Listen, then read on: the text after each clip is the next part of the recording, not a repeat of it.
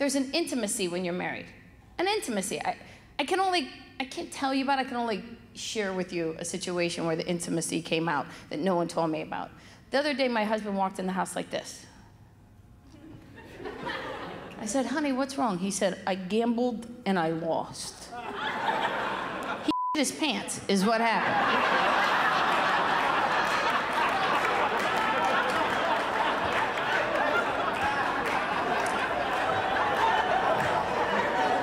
You see, that's an intimacy I would not be privy to if we just lived together.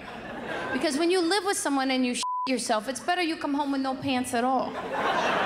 You're like, I don't know what the happened. I thought I had them on.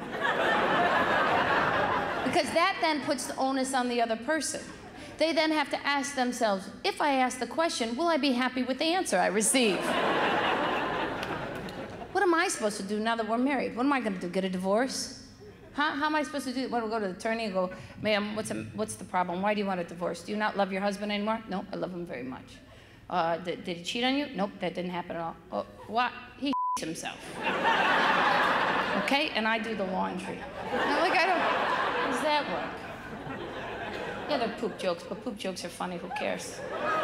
We all do it. You never yourself before? Get out of here. We've all been in the middle of the winter with a cold and a sneeze and a chew and oh my God.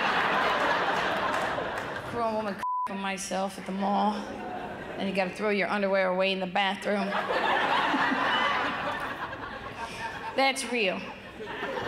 That's real. See if J Lo sings about that on her next song.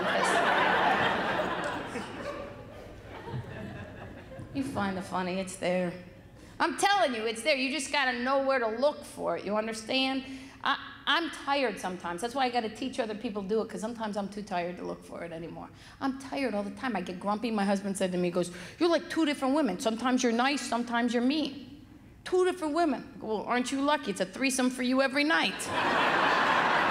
Menage a mommy, huh? Not the only woman tired with a career and a kid and all that stuff, because that's why those books, Fifty Shades of Grey, were popular. Because the main character ties the woman up. And while you're tied up, you don't have to do the laundry, the dishes, you don't have to drive anyone anywhere.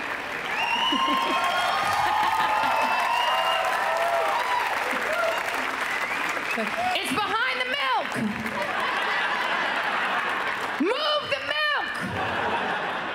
I just on Tuesday.